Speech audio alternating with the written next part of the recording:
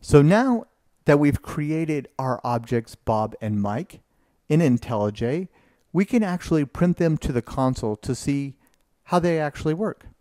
So in order to do that, we will right click, select Run Person Tester. And you can see from here, we've printed out the two objects. Bob, location 111 Utopia, work as engineer, and Mike, location 2234 Jaguar, and work as teacher. One of the nice things we can do with IntelliJ is we can actually control click back to our different objects that we're actually instantiating, and we can see how they're defined as well. And here you can see our person object in code.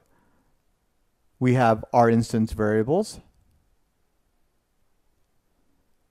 Here we have our constructor. And then here we have our method eat. I went ahead and added accessor and mutator methods so we could actually get the variables and change them later if we wanted to. One other important distinction I want to make is this idea of overriding the toString method. It is important to override the toString method if you just want to print out an object and have it provide additional meaning about what that object looks like. For example, if we didn't do this,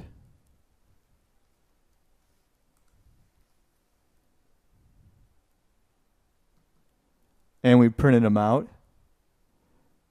we would just get some, look like almost random type numbering with each of the object. So if we want to actually print them out where they actually have meaning, we always want to make sure that we override our toString methods.